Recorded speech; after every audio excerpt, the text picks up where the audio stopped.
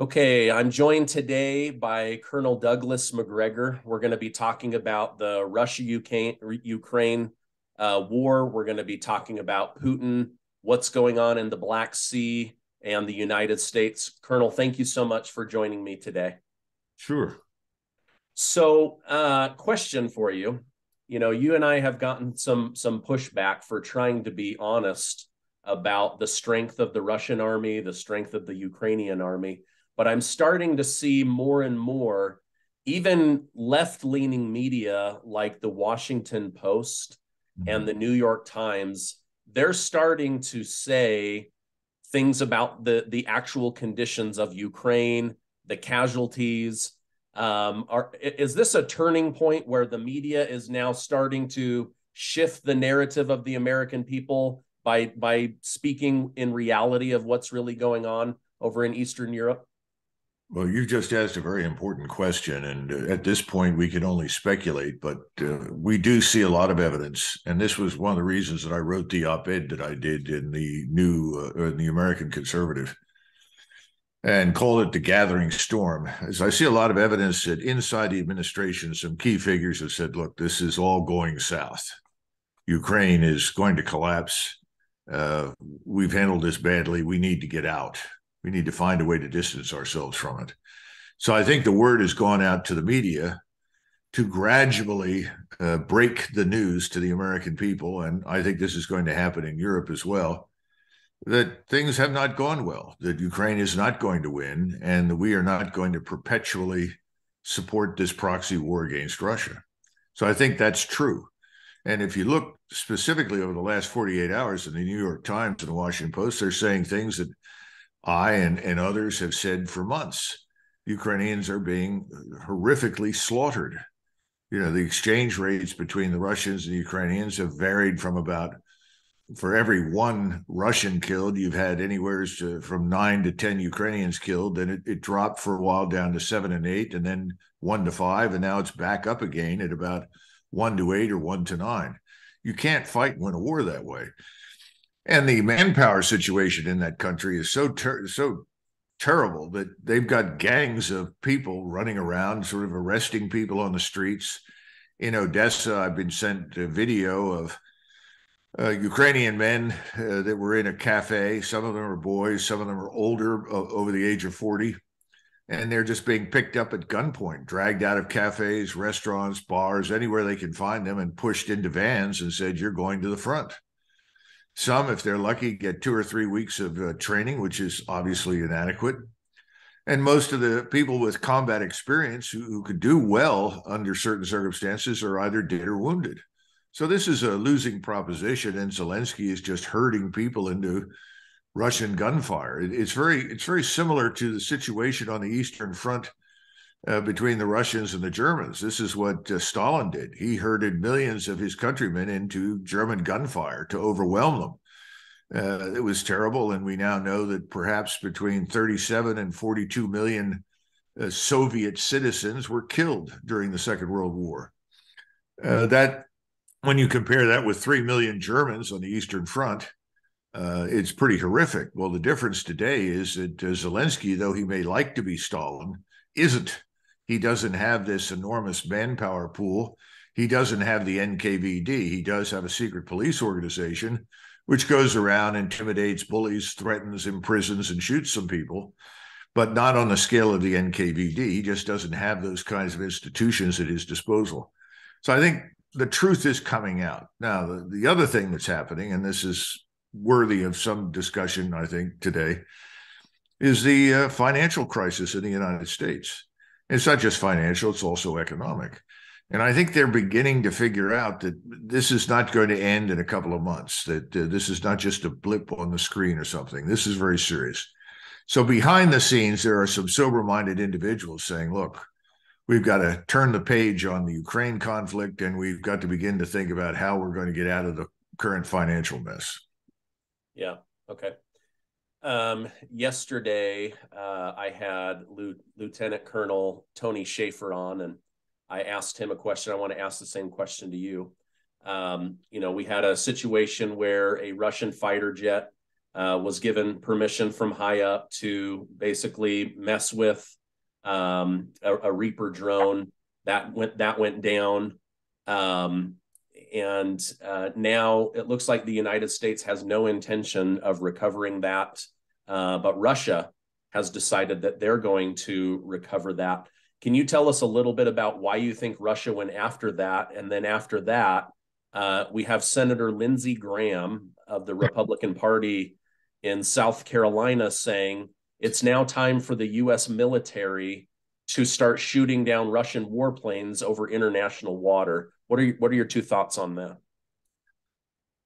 Let's start with the first question. Uh, and again, I'm, I have to uh, provide you what I have been told by my friends who are on the inside of the Department of Defense. First of all, every nation has what we call the air uh, air defense identification zone, an ADIZ. Ours reaches out hundreds of miles into the Pacific, surrounds Alaska.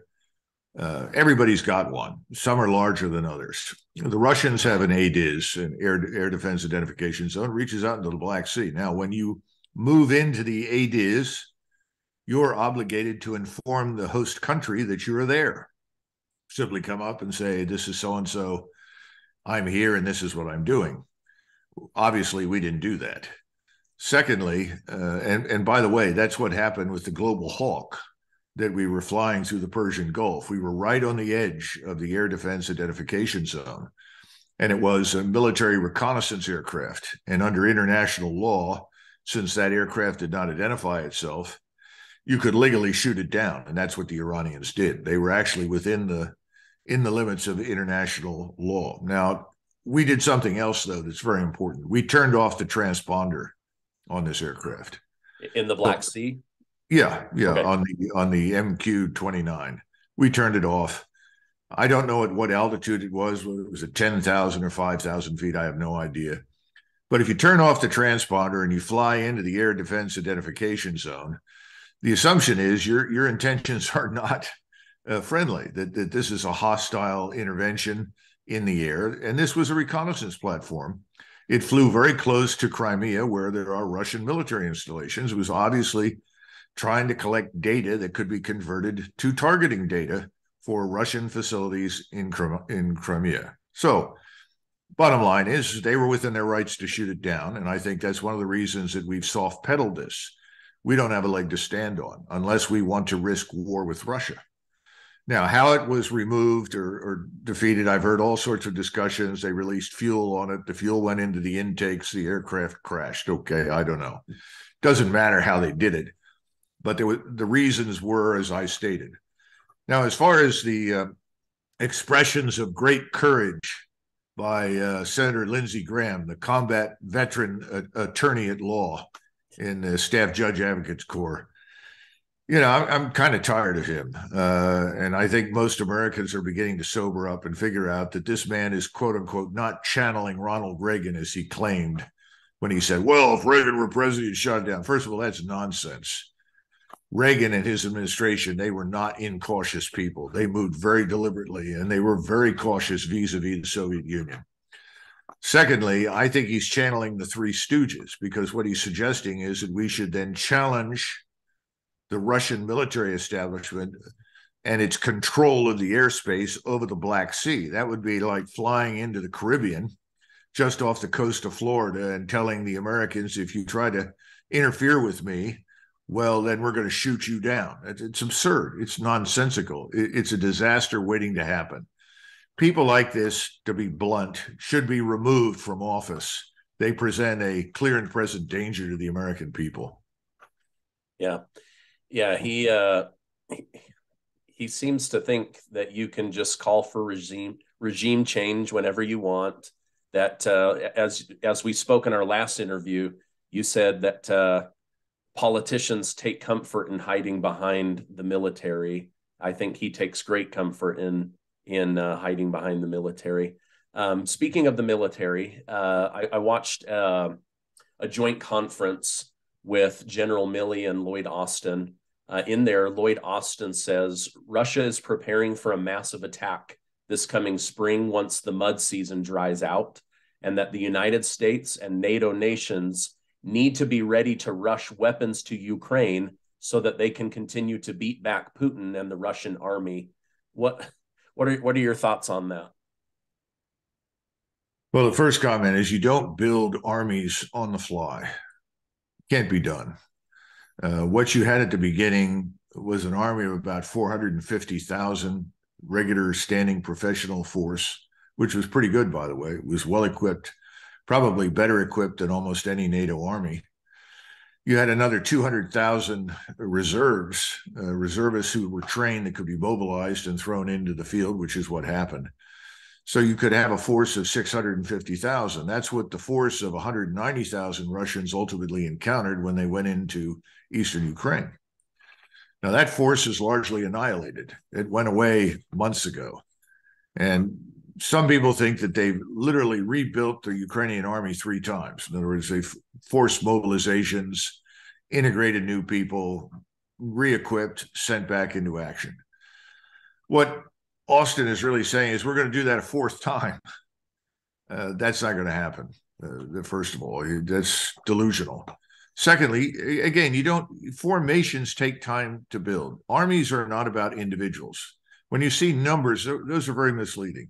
It's not how many individual soldiers you can put into the field. It has to do with how many formations. And those formations can be either battalions or brigade groups. And that's what the Ukrainians use. The Russians are largely organized into what I would call brigade groups. 5,000 men. The largest formation in the Russian army is 8,000, and that's a motorized rifle division. Well, 8,000 is, is about half the size of a U.S. division. So they have dramatically downsized maneuver units because they've understood you've got to disperse and you have to be able to be flexible with your maneuver, respond quickly. We haven't gotten there. We've resisted all that. But the point is, we're now at the stage where that simply can't be done quickly. So the notion that you can rush equipment in, people can pick it up, form on it, go into action is absurd. I'm being told that, you know, these Leopard 2 tanks that are supposed to be delivered, maybe they're being delivered now, I don't know, by Germany, that if they're going to use them, the crews are going to have to be German or Polish uh, because the Ukrainians can't train quickly enough to employ them effectively. It's just as we have two Ukrainian pilots training in the United States, ostensibly for the purpose of flying F 16s. It's ludicrous nonsense. It can't be done, it won't work. So I think the game is just about up. And whatever Austin says uh, is designed to put a happy face on the dead rat. And I think last night, Tucker Carlson made the point that looking into uh, Milley's face, he saw a great deal of fear. And I think that's probably true because I know that behind the scenes, at least on one occasion, maybe more, Milley actually told the truth and made it clear that this is back in December. Ukrainians have done just about as much as they can do. We ought to negotiate. And of course, he was slammed for that. And he got, quote unquote, back on the team and he's been lying prolifically ever since. But the lies are wearing thin now. Yeah. Okay. Um, you you called uh, the fact that uh, Bakhmut would become basically a meat grinder. Um, you know, I, I know you probably don't take comfort in being right about things like that, especially with human casualty. And the Ukrainian people have fought so hard, um, and so has the Wagner Group. But uh, do you think it's now time for them to concede the area, fall back, regroup, build up ammunition and artillery for a few days, and then try and dig in and hold the line again? Or is, is it just at this point, it, it, they're just going to continue to throw bodies at the meat grinder? Well, Bakhmut will go down in history as having been the graveyard of the Ukrainian military. That's how terrible it's been. The losses are frightening. Ukrainians will insist, well, we've killed some Russians. Yes, that's when the exchange rate changed from one to eight or nine down to one to five. So the Russians have taken some losses, but you're now comparing 30,000 dead Russians and perhaps 60, 70,000 wounded Russians with potentially up to 250,000 dead Ukrainians, plus another three or 400,000 wounded. And most of those wounded will never return to active duty. They were so severely wounded that they can't fight again. Now, this is not unprecedented. We, we've seen these kinds of things. During World War One, in 110 days of fighting because that's all that we did in World War One in 1918. We fought for 110 days, and in that time frame, we lost 318,000 men, casualties, of which 110,000 were killed. That means that in roughly every battle, we lost a thousand dead. That's the kind of thing that's been going on in Ukraine. So it's not unprecedented, but you can't keep that up. We came into World War One at the end of the war. The, the, French, the British, the Russians had lost millions of people. Uh, and Germany was ultimately overwhelmed simply by numbers and materiel, and thanks to the Royal Navy, starvation. This is a different situation right now. Ukraine has never had those numbers at all. And they are now really on their last legs. There's no question about it. We keep pushing them to stay in the fight. Now, we have advised them on occasion to pull back, regroup, a new defensive line, build up your reserves. Zelensky, I think, has chosen to ignore that advice in favor of continuing to attack, attack, attack on the assumption that if he can gain any ground, if he can prove that the Ukrainians have any fight left in them, and the Ukrainian soldiers are excellent, that's not the question, but no human being can put up with this the way they have in Bakhmut that somehow or another we will all rush and, and support them. And then I think there's the other aspect of this. I think he has hoped against hope that he could drag us in. And I think we've actually conveyed the impression to him that that might happen. That's a terrible thing to say. It's a, it's a lie. We were never going to involve ourselves directly in a confrontation with Russia. Now, there were times when we flirted with it. This is this coalition of the willing. But my understanding is that's largely gone away now. And there's been a, much more sober minded assessment. We realize we can't go into this. You know, our war stocks are exhausted. We, we've emptied them. The Europeans never had large ones to begin with because they've been essentially vassal states of the greater American empire now for decades, and they assumed that we would come in and fight for them. So there's not much left. Russia is just at the peak of its power right now. It's mobilized it's got unending quantities of ammunition and equipment. It's ready to fight. So the notion that we're going to motor into Western Ukraine and challenge them is a lot of nonsense. I think that's finally sunk in.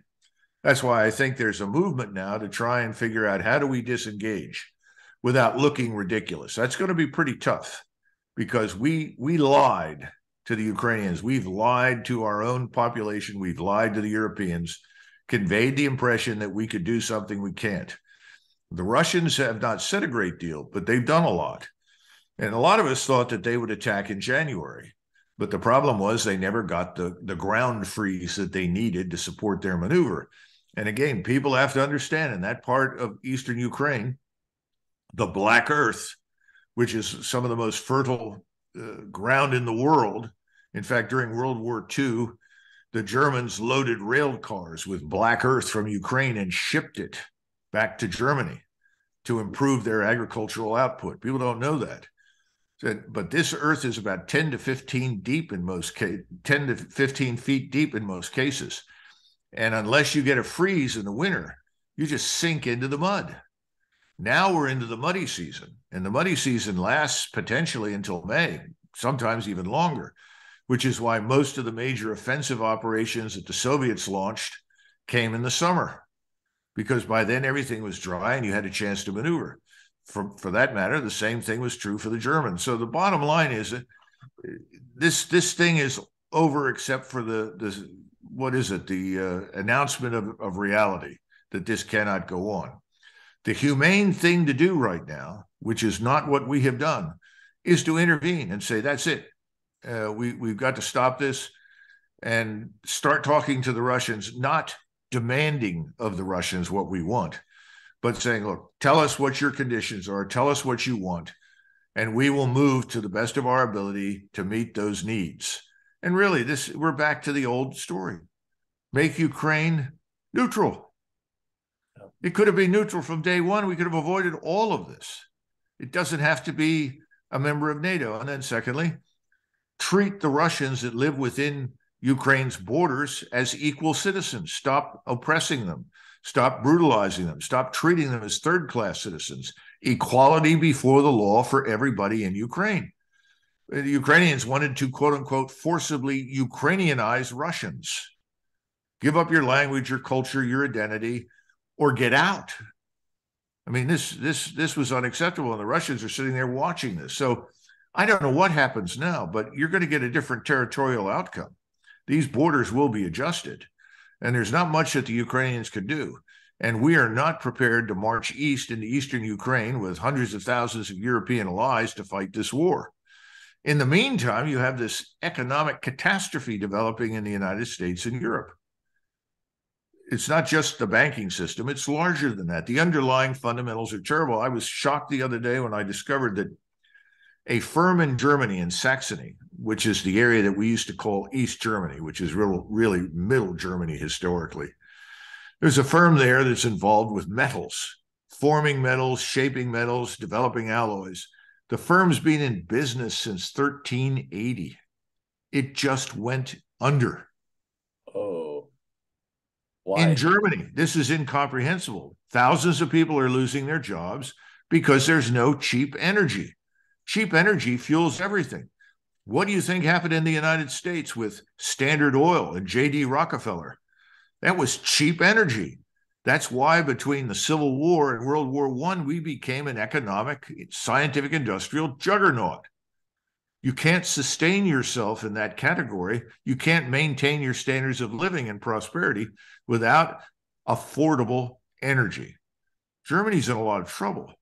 And I don't think the Germans are very happy about it. It's going to get worse before it gets better because you just don't turn on energy and restore your prosperity. It takes time to build back. So the old build back better regime in Washington has done just about everything it can to destroy us and our European allies. Yeah, it feels like build back broker, to be honest. Um, you know, and that's what I cover on my my daily show. Um, okay, sticking with the energy topic and the financial situation. Uh, do you think? I, I don't think the United States and the media is going to hold President Biden accountable for blowing up the Nord Stream 2 pipeline. They're doing everything they can to to cover for the sitting president. But I don't know that Europe cares and they're protesting, they want answers and they want that cheap energy even if it's from somebody like Putin. Um, do you think that President Biden could be in trouble uh, throughout the rest of this year when it comes to the financial situation and the Nord Stream 2 uh, attack on Germany, who now you know is in desperate need of affordable energy? I think things are going to get much worse here in the United States over the next 60 days. Now, I am not a financial analyst, nor do I claim to be an economist. Of course, John Kenneth Galbraith once said that economists exist to make astrologers look professional. So I don't feel too badly about uh, making some statements, but I think as these interest rates hike, and that's what they're going to do, they're going to hike interest rates again in June. It makes it that much more difficult in the banking system, where there's almost no credit at this point anyway. Uh, you, you cannot you cannot have price and and interest rate stability simultaneously under the cir- current circumstances. The more you hike the interest rates, the worse the situation becomes. There's something else too. Americans don't understand very well Washington doesn't understand it all. We are not the nation of 1991. Now, we began shipping out. When I say we, I'm talking about your ruling class of corporate bigwigs and politicians. We began shipping out our industrial base to China and elsewhere back under Ronald Reagan. Nobody ever points that out, but this this process of sort of shipping it out for cheap labor uh, costs started in the 80s today we simply don't have the scientific industrial base that we did 30 years ago. So that if you restart the economy, if you will, there are not hundreds of thousands of jobs out there for people that are going to do them. When Franklin Roosevelt dragged us into World War II, we had vast numbers of factories. Our whole industrial base was sitting idle. But when we started the war, suddenly millions of people showed up and we went back to work because we had an industrial base. We don't have one now. That's a huge problem. This is what Donald Trump was talking about. He was trying to repatriate industries. He was trying to restart industry by focusing on uh, what I would call high end uh, manufacturing. In other words, not low end stuff, high end stuff. He was trying to reinvigorate agriculture, reinvigorate the energy production systems. That's what he was trying to do. That was stopped dead in its tracks. It's going to take us a decade or more to restart all of those things in the right direction. That's the problem. You have a similar problem now in a place like Germany because Germany is really the industrial engine of Europe. There's nobody else in Europe compared with Germany in terms of its productivity and its scientific industrial capacity. These things are going to take time. I think Biden is going to end up being the scapegoat for the left. I mean, I, I call him the cardboard cutout president because I don't think he's really there. I don't think he's really in charge. I think he reads and says whatever you put in front of him and then he saunters off, you know, to the door and walks out of the room. Others are in charge who were not elected. These are people that were either appointed or there as as assistants or advisors or something. I don't even know who they are, but I'm sure if you go down the list of the employees in the White House and some of the people that are listed as advisors, you'll find out. But those are the people running our country, not Joseph Biden. And then you have irresponsible people like uh, Lindsey Graham and Chuck Schumer and others, they're just along for the ride. They haven't paid attention to anything. How many times have we hiked the debt ceiling? How long has this been going on? Well, it's a party. You know, why stop now? Open up another case of champagne. That's what's been going on for decades.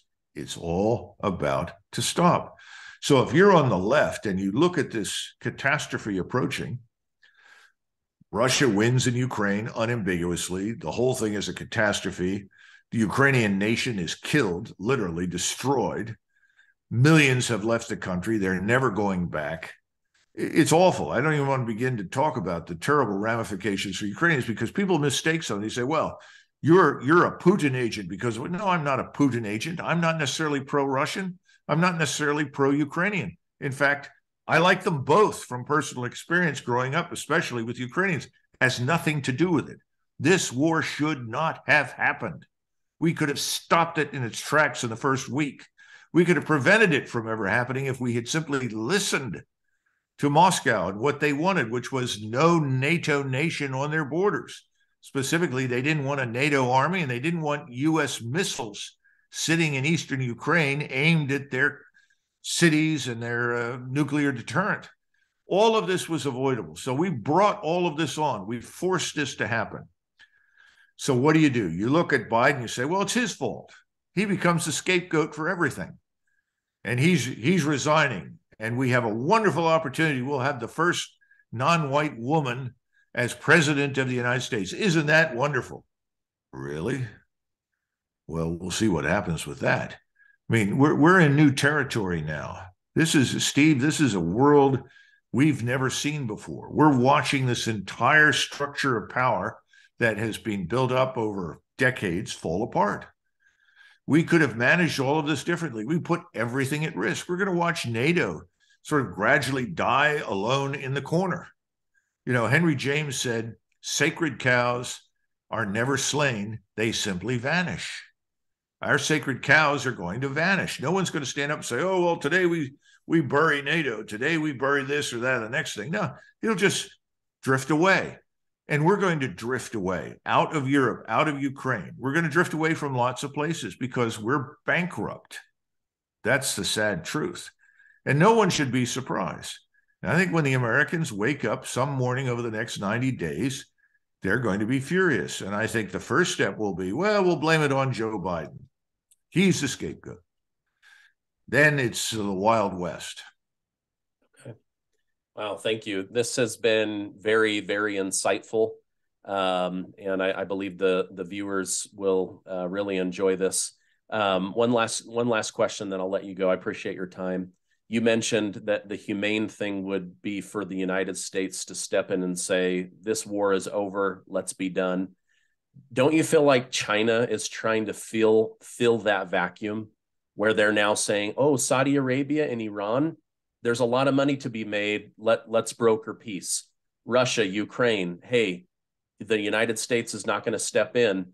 we are going to step in and, and broker peace. Is, is this one more way for China to try to uh, eclipse the United States on the world stage? Well, first of all, I do not subscribe to the view that China wants to eclipse us. They know they can't. They have serious problems internally as well. The biggest problem China has always faced throughout most of its history is it's too big to do much more than it's already done. They have 1.4 billion people. Every day Xi wakes up is trying to figure out how do I hold this place together? How do I stop it from falling apart? I'm serious. China is not some sort of martial state that wants desperately to go to war anywhere. On the contrary, they fear it. They don't want it. Now, when you look at Ukraine, Ukraine sits astride all of the routes, all of the railroads, and everything that comes out of Central Asia and China into Europe. China has been trying to build this thing they call One Belt, One Road. Essentially, they want to restore the commerce lines that existed under the Mongols after the Mongols conquered China between China, Japan, Korea, and Southeast Asia and Europe. You go right across the uh, center of Central Asia with your rail lines. This war has to stop if that's going to happen. The Chinese desperately want this war over because they want to build those lines. We want to stop that commerce. Well, that's right up there in the in the category of let's stop Niagara Falls. How do you stop Europe and Northeast Asia from trading with each other? if you look at Europe, Russia and Europe and on one side, on the Western side, and you can add North America with this, and then on the other side, Northeast Asia, those are the two poles of scientific industrial power and production on the planet. If those two poles go to war, the world is lost. The rest of the world desperately needs both of us. So, no, the Chinese are not looking for war, and they're not necessarily interested in displacing us. They're trying to build their commercial economic empire, if you will. And the Russians have a critical role in all of this because the Russians are the muscle in Central Asia. They provide security for those lines of communication, for the rail lines. No one in Central Asia trusts the Chinese. No one in Asia beyond China's borders trusts the Chinese. People are not stupid, but they're not afraid of an invasion, not a military invasion, but they're all very, very concerned about the Chinese. You know, whenever I've gone over on business in Northeast Asia, where I talk to my friends that are in Korea or Japan, they always laugh and say the same thing. You Americans are stupid. Do you see any Chinese in our laboratories, in our universities? Of course not. The Chinese do what they've always done. If you leave it on the table, they'll steal it. That's what they do. They've been doing it for thousands of years. Everyone in Asia knows everyone else. We're the ones that don't know anything because we sit back from the rest of the world convinced that we have all the answers. We're the shining city on the hill. Everybody needs to emulate us. And by the way, if you don't, we club you over the head either with our control of the financial system and the dollar or our military establishment. Well, the world is saying, no thanks. We've had enough of this. We need to be part of the world, but we don't have to bully it. And that's what we got to come to terms with. So people like Lindsey Graham and Schumer and the rest of these people need to shut up. We don't need to bully anybody. When you bully the rest of the world, you end up in a position we're in now. We're being increasingly isolated by our own stupidity. All we need to do is stop it. We need to be prepared to do business with everybody and stop dictating to everyone everywhere how they will govern themselves. And if we have a dispute of some kind with what someone else somewhere wants to do internally, we, we can deal with that privately. You know, we don't have to deal with it in public and we can make our views known. And that frequently has more effect than publicly humiliating your business partner. So all this sort of arrogance and hubris needs to go away. Right. Thank you so much, uh, Colonel Douglas Macgregor. We value your opinion. We value your time. Thank you for being on today's show. Thank you, Steve.